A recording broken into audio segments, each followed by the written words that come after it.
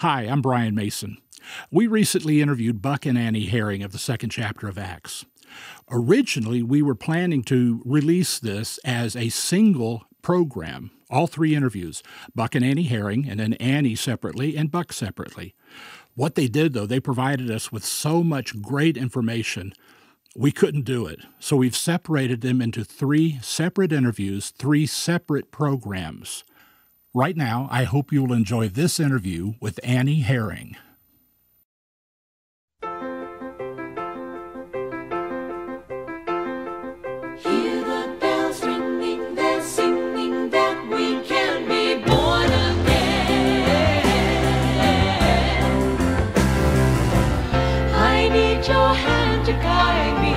Every step along the way. I need you here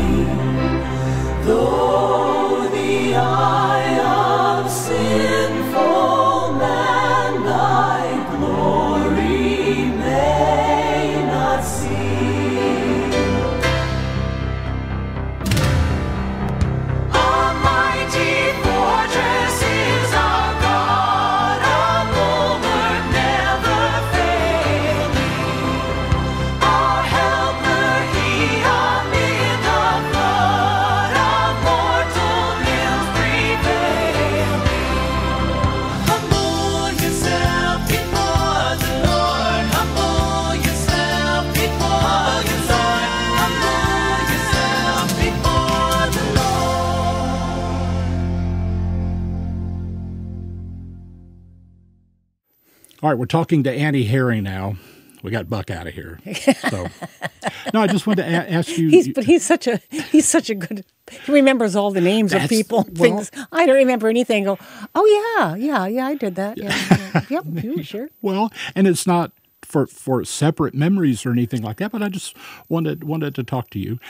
And if I've asked these questions already, because there were a number of questions I wanted to ask you, Uh-huh. and I, I I found myself asking you when he was in here. So if I've That's asked fine. him before, um, just say we've already talked about that. No, growing up. You, you grew up in was it northern Idaho? Not northern North Idaho, Dakota. North Dakota, right. North right? Dakota. With eight siblings. There were nine kids. Yes, Catholic family. yes, very. Um, and you're right in the middle, right? Fifth I kid? am. I am the fifth child. I'm the best balanced, of course, as we all know, because of my position. my mom and dad had five kids the first six years of their marriage, and then Wow. they waited uh, and had another one six years later to my little brother Tony. So I was a baby for a while, and I was really my father's baby. I, I, I think I, I have a, I had a special relationship with him because when my, the rest of the kids would go to school and Dad had some time, I can he- still hear my mother saying when Dad would leave the house, "Walter, take Ann." So I obviously was a bore, made her crazy. I can't imagine that I would do that, but um, then the, the reason that, that we have a, a second family is because we're Catholic, as you well know, and my mother uh, was ha- in confessional, and she said, "You know, Father, I have five children," and he says, "Well, you know, just do. You've done your duty. Just do whatever you can do." This is kind of personal, isn't it? Yeah. well, that's the way it goes, right? Cut, edit. Okay, edit. so anyway, so five years later, we move, and we move to a different parish, and she talks with Father Anthony, and she says, "Father," and he says, "Yo, your body does not. Your body belongs to your husband. Sorry, that's it." So she got pregnant, and I remember distinctly. I was uh, f- almost six, and oh no, I was five and a half, almost six, and she she- it was his baptismal.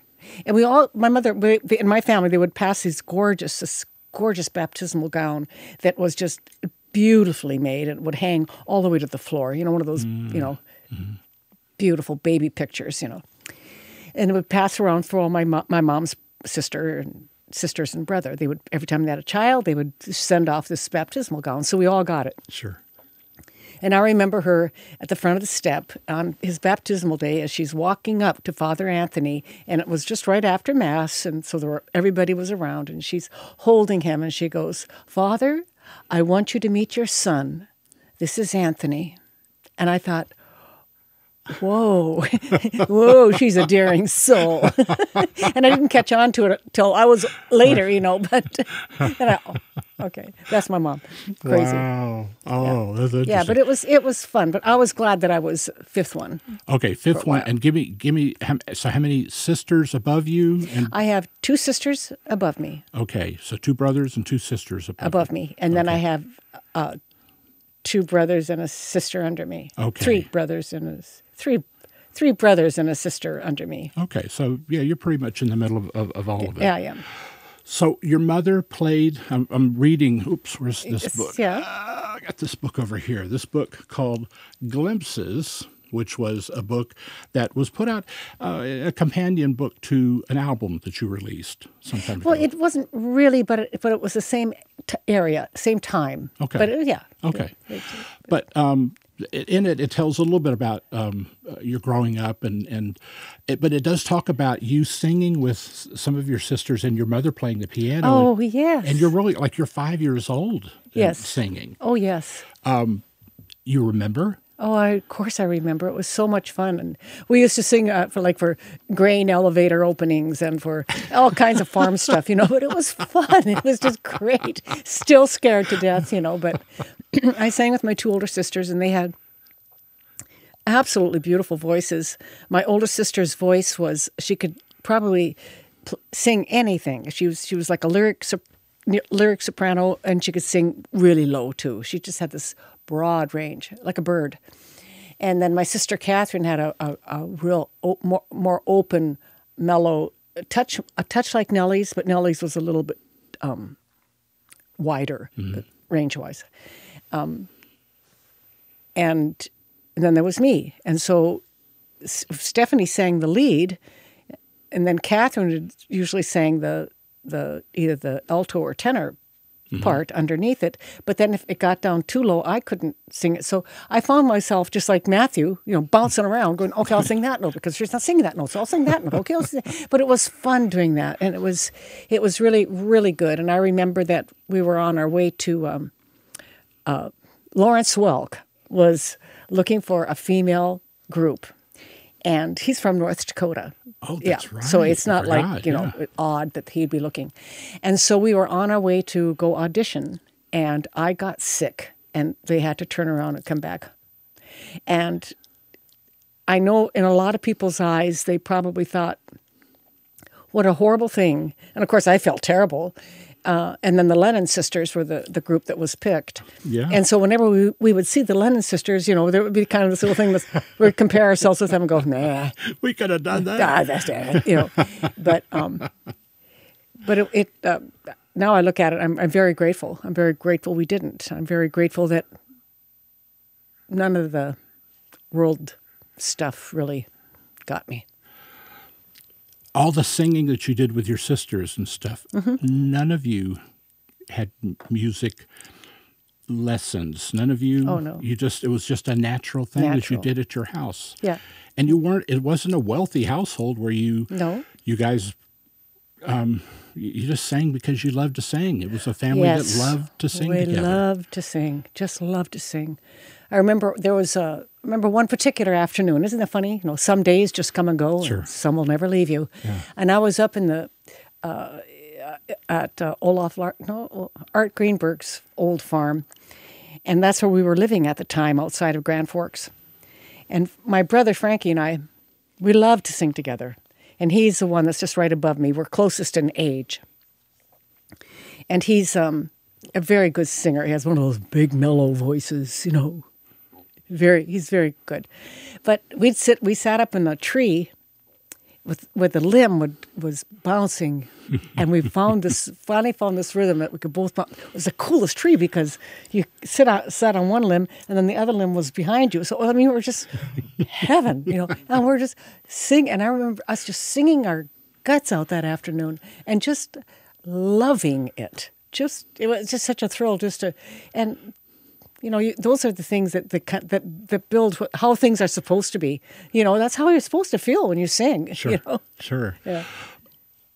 So that was you and that brother. You've got you and your other sisters and your mother playing piano. Uh-huh. And of course, you and Nellie and Matt later on. Was there ever a time that the whole family on a Christmas or whatever time that everybody sat around the piano at home or whatever? Everybody was together. We usually singing? did at, at Christmas. It was just a natural thing on Christmas Eve to sit around the tree and watch my father put on that beautiful star. And um, that was the last thing that always went on the Christmas tree. And it, it was beautiful and had blue little tips, and the, and the light would shine through it. It's a, it, it's an. I'm sure it's it was very old. Probably came from Norway, you know, um, but he would put that up there. And in our drabby house just have christmas lights. It just made it made you feel like you were in a palace because the lights were so beautiful. And then we could adore the lord that he was born. We loved christmas. We loved singing christmas carols together. And it was really really really really precious and special. And then once in a while like if we went to a movie um, like Moulin Rouge, let's say, it would be a very rare occasion that we'd go. But my mother would get the sheet music and then she'd play and then we'd sing that song. And I just loved that song for some reason. but for all of us to sing together at one time, it kind of almost it was impossible because of the, the, the age range between ah. Stephanie and Matthew. Stephanie was the oldest. Stephanie's the oldest, and I think she's like 19 years older than Matt. I think she's six years older than I. 12, six, 12, no, eight, yeah, Wow. yeah, 18 years. Yeah, that's My mother was pregnant with Matthew when my older sister got married.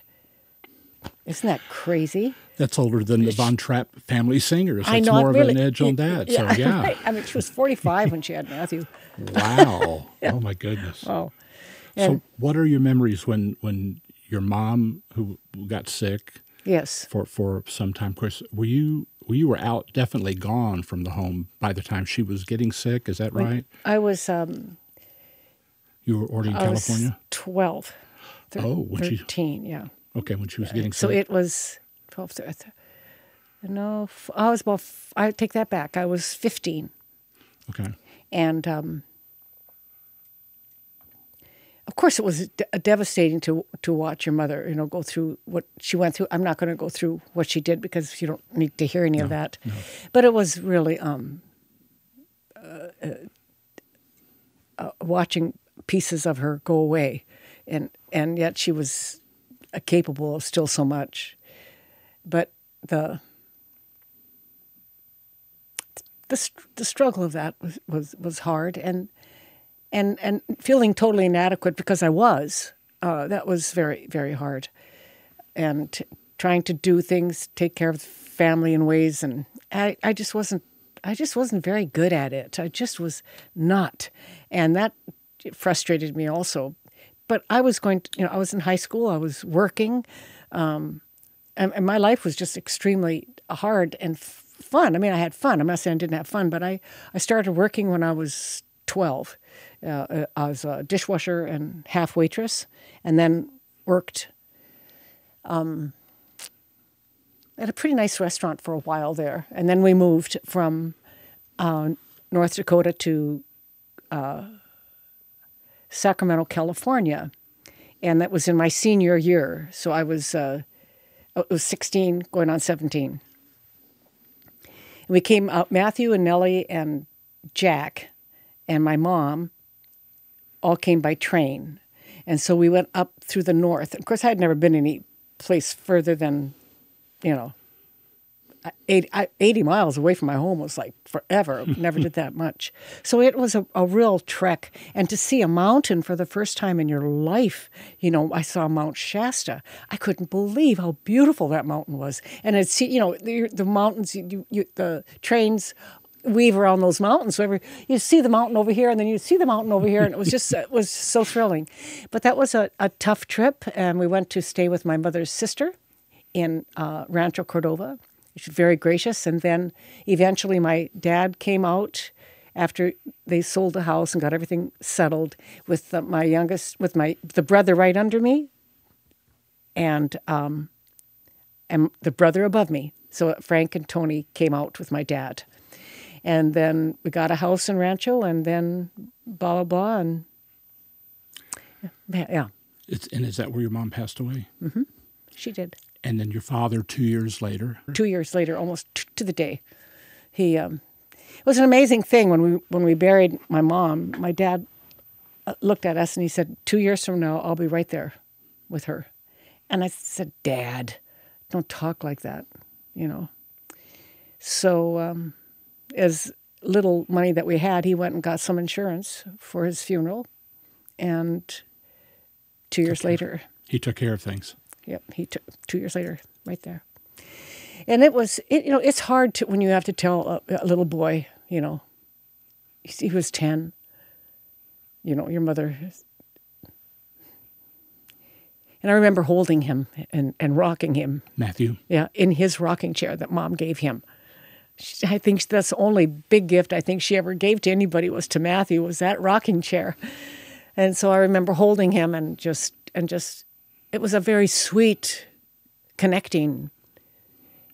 And it was almost like the Lord saying to me, "Hold on, baby. Something's going on." But I didn't know the Lord, but but you could feel that the power of that. And so I thought, okay.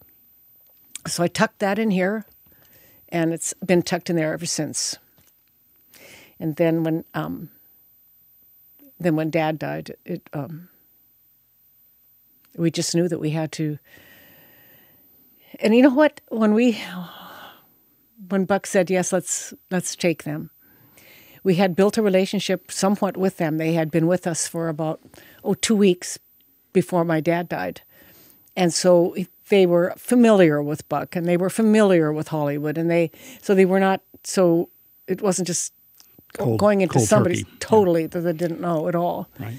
and um, and to watch the transformation of uh, of Matthew and Nellie and uh, I look back at it now and I, I, I don't know how in the world we did it. But I do know that it's the grace of God. And He always gives us the strength we need to go through what we need to do. And it's just like, you know, uh, Corrie Ten Boom says, you don't use a ticket until you need it to get on that train. So I have learned a lot about that ticket. And a lot of that ticket, the important thing is denying yourself and picking up your cross and following Him. It has nothing to do with trying to become something that you're not. You know, and learning that I, I learned a lot with with Matthew and Nellie. Obviously,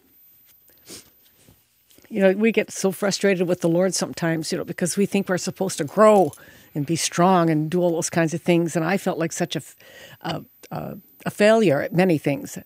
I never I never felt like I was a failure as a daughter of the King but I wanted to to I wanted to do more. I wanted to be able to embrace better um, the, the the what I saw in, in Matthew and Nellie and, and my husband and, and all in our lives. I wanted to know how to embrace it better and to build it up better and to be a, a stronger person, which I I'm not strong.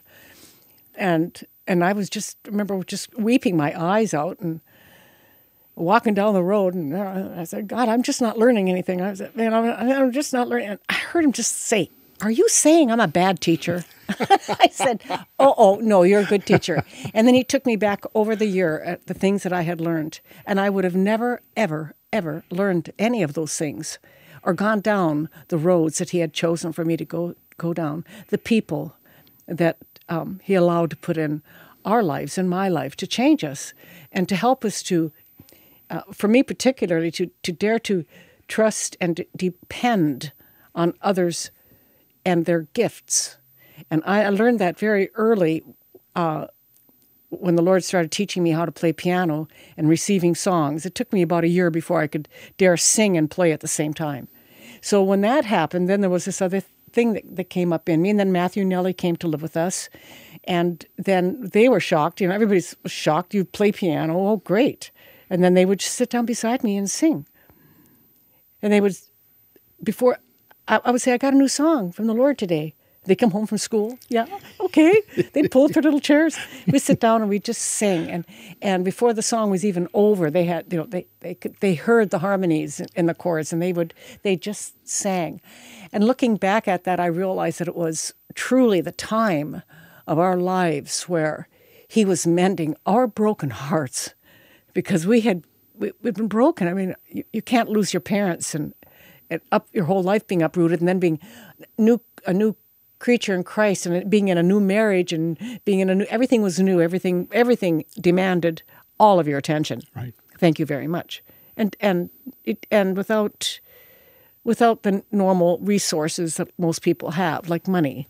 We didn't have anything, you know, and yet God provided completely for us. Sometimes we didn't have money for rent, and we had this great big, beautiful prayer meeting at our at our house every Tuesday night, and um, there's a lot of miracles that happened there, piles of them.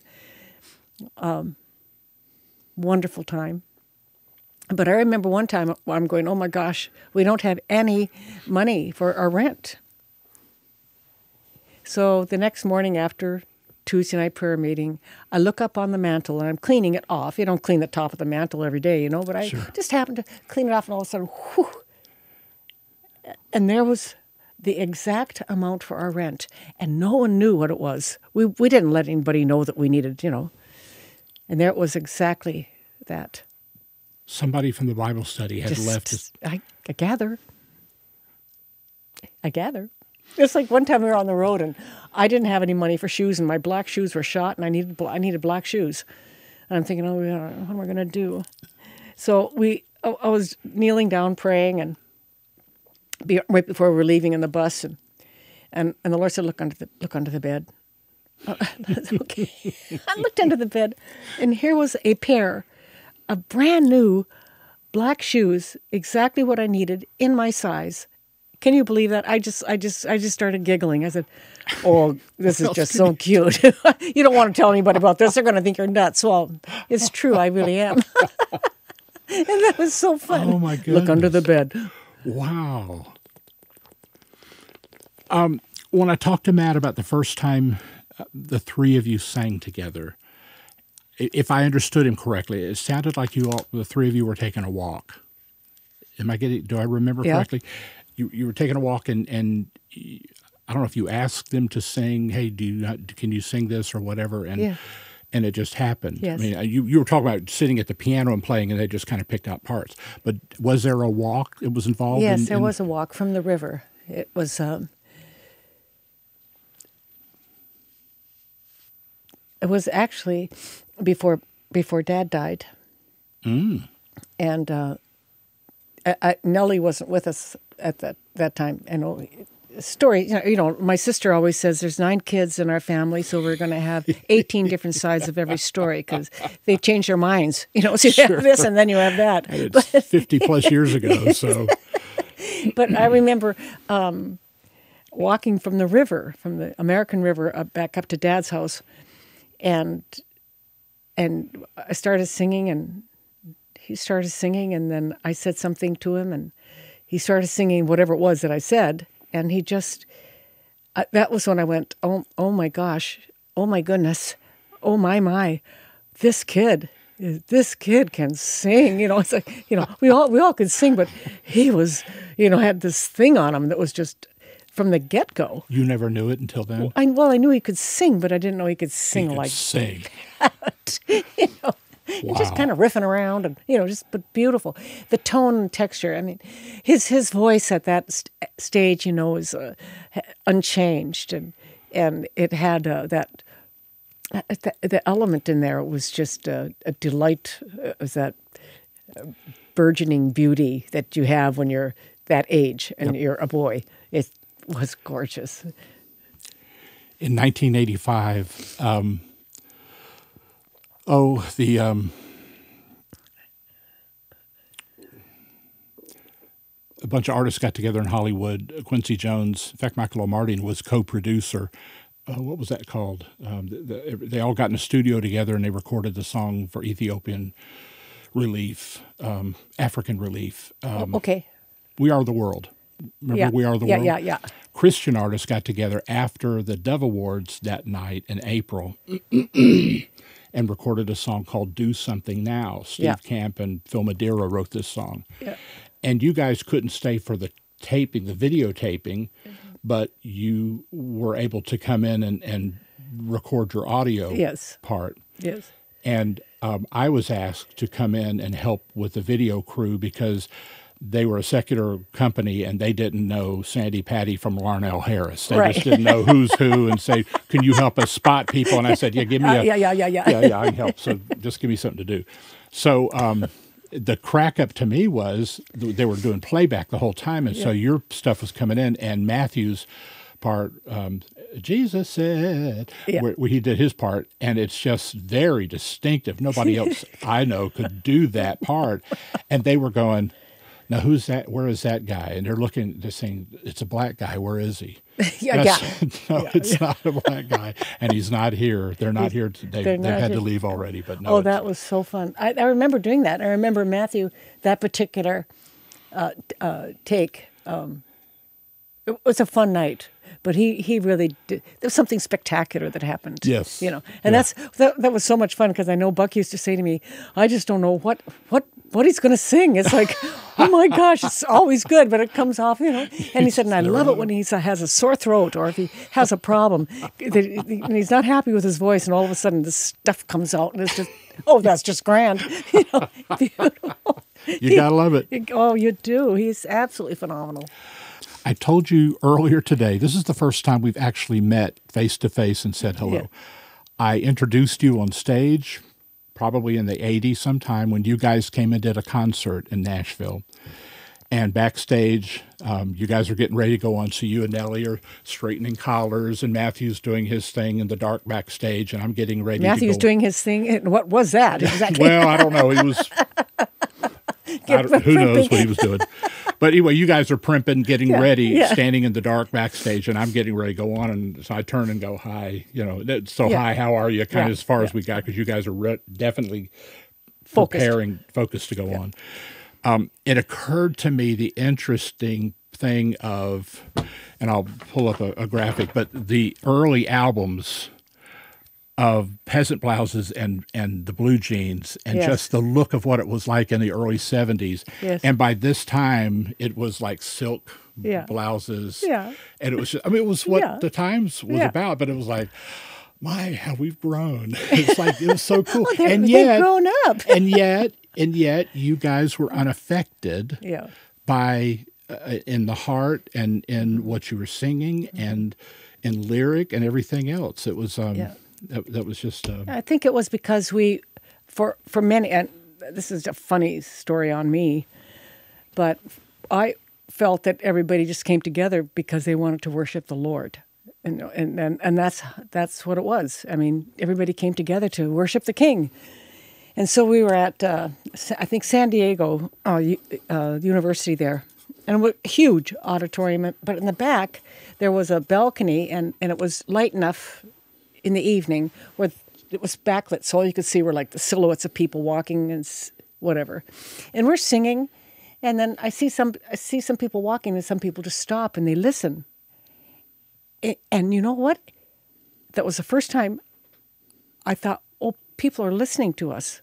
You know, they, they oh dear, it scared the bejeebies out of me because I'm just sitting there. We're all in this thing all together. You know, I wasn't thinking anybody was coming to listen, and it was such a funny thing. And I'm thinking, whoa, slow. Ooh, Not what I was expecting. wow. Um, we did talk once upon a time, and I want to say this would have been in the maybe the mid '80s when Keith Green died yes, in 1982. Um, I would typically do a radio show around the time of his death, dedicated just to talk. We'd play all, you know, just his music, and I would try to talk to people that knew Keith and, and would have a story or two about him and what he was like and stuff. And and you called in that morning, and um, I said, "You got a story?"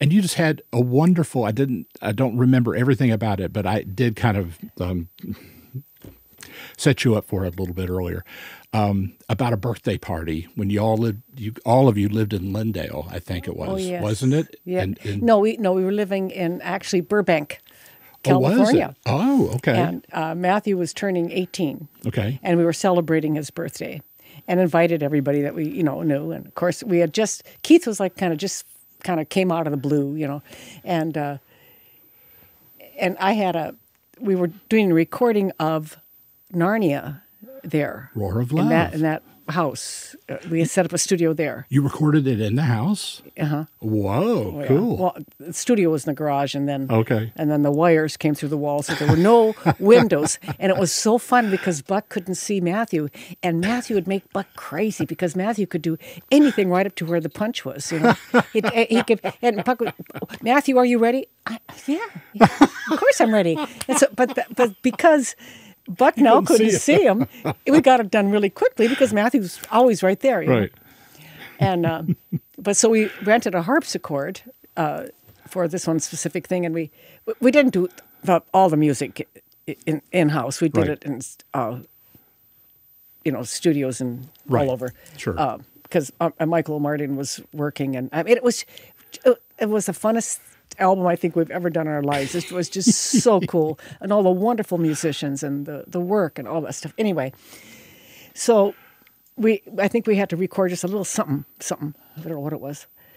So now, there uh, the way the house was built was our I had the uh, piano in my bedroom, and then you go down the hallway, and then you go through the living room, and then there was a nice turn the corner, make a U, and you could go out to the patio again with big French doors, and you go out there. Then you, it was open, Yeah. and our room was open to the patio. Right. So the piano was in my room, and the harpsichord was in the living room, and we started this conga dance. And Keith would start off playing on the piano, whatever it was, you know, and then he'd run around, get into the get get the harpsichord going. so and we just did this like for hours. It seemed like, but of course it wasn't that long. But, it, But everybody in the everybody conga was line. so much fun. It was just a great great time. Oh, that's great. What are your memories of Keith? My memories of Keith was that he needed to be settled. Hmm. uh, the first time I saw him, I thought, "Whoa, he's he's rather uh, kind of bold." And I thought, "Well, good for him. Good Hmm. for him. That's who he was." And um, when he wanted something, he was he just you know straight to the fact. You know, none of this this stuff. Kind kind of like Buck in a way, but Buck wasn't like that. But Buck just goes to the chase. He doesn't. He's not good for small talk. You know, he's it just doesn't work with him. And so I remember Keith calling up Buck because he wanted something. He was, Hi, is Buck there? And I went, uh, Buck. Yes. Oh, Buck's here. yes. Is Keith? Yes. I said, Hi. You know, this this is Annie. How are you doing today? And he just was silent. And he just goes, I'm fine. How are you today, Annie? I can play the game, but I need to talk to Buck. I tell you, he never called again. When I answered the phone, he and he always said, "Good morning, Annie. How are you today?" He didn't go. He didn't do that push button thing. That just doesn't work. That, just like, I'm a person. I am not a conduit for Buck. I'm not a secretary. You can't, can't Oh, do yeah, that. right. You cannot do that. But uh, but but I'll never forget his love. Very loving, very kind, very generous. He had the most gorgeous eyes that would twinkle, and humor. um, he was very, very kind to us as a ministry, as individuals. He truly, he truly loved us, and um, and we loved him. I, and I, the last time I saw him, we were at his. We were our our properties were adjacent, so in Texas. we would th- before we went to on on the road the next day. The night before they would always prepare supper for us and none of us had to do that also and then get ready for the road. It's very thoughtful. So this was that night before we went off to new york to minister with david wilkerson which was an amazing experience. I heard him open up the door at the big cafeteria and I could hear him say, Annie, Annie, Nellie, come here. So we went outside and the sky was aflame with beautiful colors from the Texas. The, the Sunset. sunsets are just amazing. It was like, it was a second coming, you know, and Nellie and I, oh my gosh. And we said, yes, he's coming soon. And, and he's, he said, yes, he is. And that was just days before. that's, yeah, I mean, it was just so so. And I think my last day with Keith was wonderful because it was he and it was right near there that the crash crash was. So wasn't how we expected it, and it uh, definitely uh, definitely rocked the world because I think we needed, we felt we needed, um, more of more of Keith.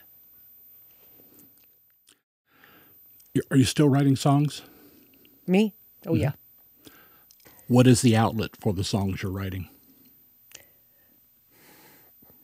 Well, I don't do concerts anymore. I'm not recording anymore. I um I speak them out. They're an intercession, a lot of them, and a lot of them are a proclamation of healing and uh, and and reminding myself that I am healed. Um, praying for others. And then when we do have gatherings, sometimes to um, play and, and sing and, and minister, but it's always at a personal, it's at a personal level, and it's I was going to say, so it's a pretty much a private yeah, it's private, yeah, yeah. Sometimes I just open up my windows and just play, play really hard. and I had one neighbor that said to me, "Oh, I love it when you play the piano. It just, it just rings through the mountains, and it's just so wonderful." And uh, you know, and he, he's, he's my, I love him to bits, and he doesn't think he knows the Lord, but I know he does. But he, you know, he protests like I don't, but he, he he's too tender in here not to know something of the truth, and, but he just, he just loved it. He loved, loves that. So. So you just don't sing for public anymore? Uh, oh, wait. Well, no. I mean, I'm sure if somebody asked me to sing, I would, but that's not. Um, it's not part of the agenda in our lives anymore. To You're officially retired, Mm-hmm. in other words. yeah, Okay. yeah.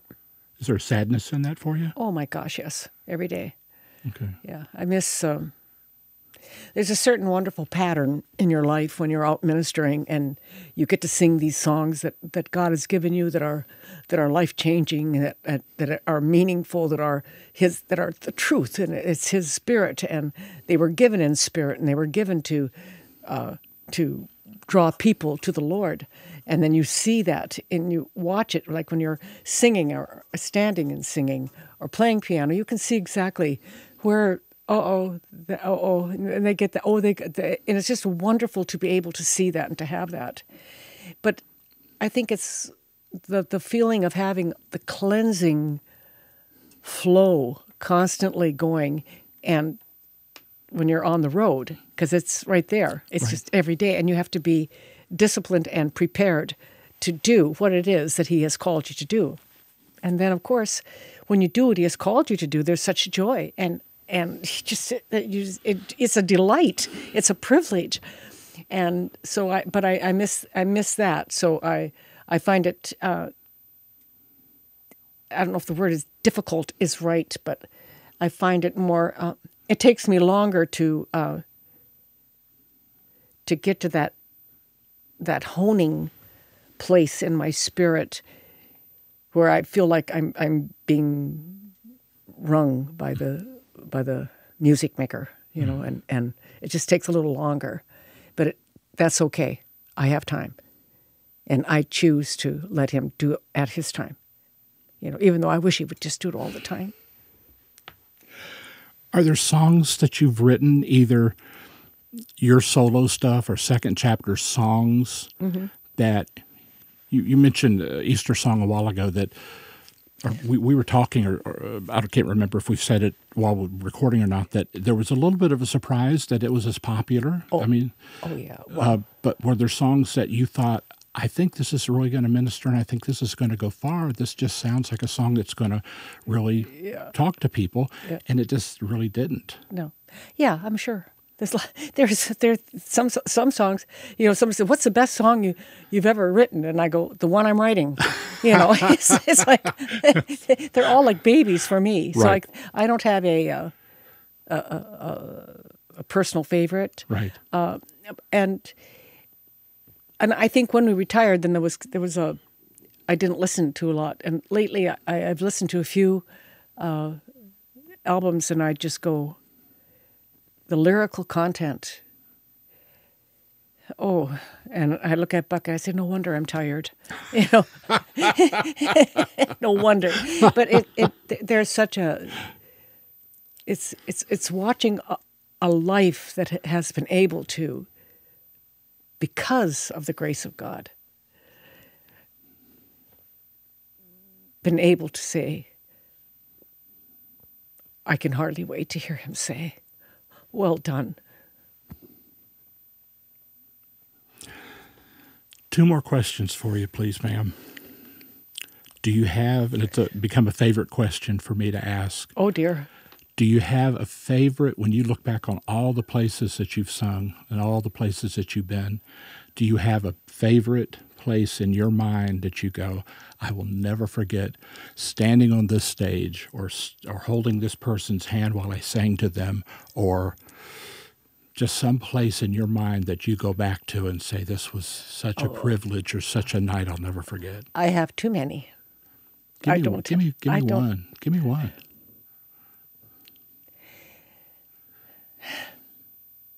well you know after concerts we would always go down and pray with people Sure. And I remember this one mom, she came backstage and she had a little girl. She was five, and she said, "This is my my daughter Cami. Would you ask her if she wants to receive Jesus?" And I, I and she was a tiny little thing, and I'm thinking, well, okay, I know when I was five, I understood a lot. You don't. A five year old knows a lot. A five year old knows when they're sinning. There's, you know, you know when you're wrong. Yeah. And so I, I said, Oh, I said, can I hold you? She said, Yes. So I picked her up and I walked with her and- and backstage.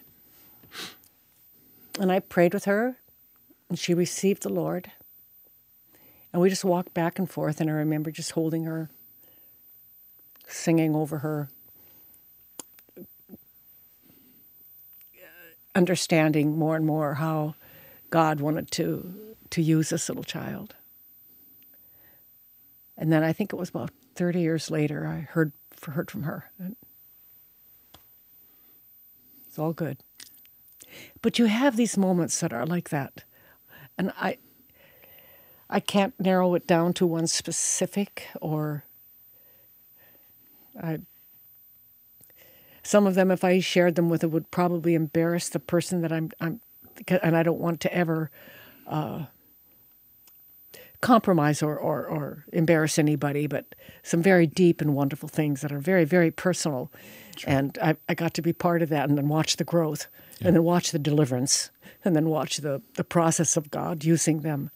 And um, there's just, yeah. That's beautiful. Last question. When it's all said and done, how do you want to be remembered? How do I want to be remembered? Simple question. No, it's not. Should I write it down? Mail it to you, let you think about it? No, I, I, I, I don't know. I, faithful and true. Uh, I have no idea. Okay. That's an answer. That's an answer.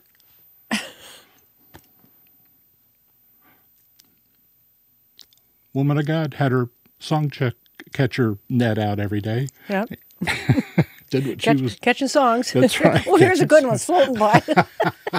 Oop, missed that one. Come back tomorrow. I'll be here. oh yeah, just piles And- of fun. Annie, you have blessed the world for so many years, and you and you know that. I'm, but I just uh, I thank you for just a ton, ton, ton of people. Oh, it's it's a surprise. It's all a surprise. A wonderful surprise. You know that God would do what he what he. Buck and I sit at, at having coffee in the morning, and we say, for a couple of kids who are just kind of, huh, look what God has done, and and I, I'm I'm saying that not to pat us on the back, but I'm saying that because there are so many people who feel so inadequate, and they don't dare trust and they feel like God is telling them something, but they are afraid to share it. Well, I know what that's like, you know, and find somebody you can share it with, you know, because it will grow. It will grow. And we are all, we are all not perfect this side of heaven. So we don't have to try to be perfect, but He is perfect. So we will be perfect because He is perfect.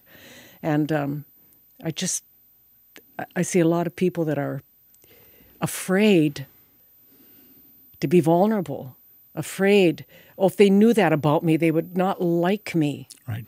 Boy, the minute I opened up my heart to the body of Christ about my sins, um, and I thought for sure they would just kick me away, it made them love me more. And I think that's why I, I, I'm so encouraged when I see someone who is so broken. I go, Oh, honey, you're broken. God can use you. Because God is the mender. He is a mender. And He will use you. So I, I don't like being broken. I don't like being vulnerable. I don't like it. But I do love it.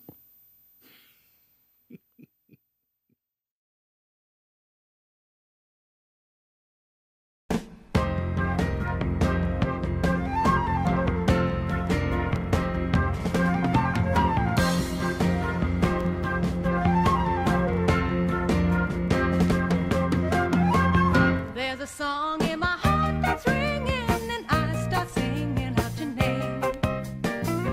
Then I dance with la la la la la la la la like David used to do. You make me feel like a feather on my feet. Somehow it's all completely new. When I dance with la la la la la la like David used to.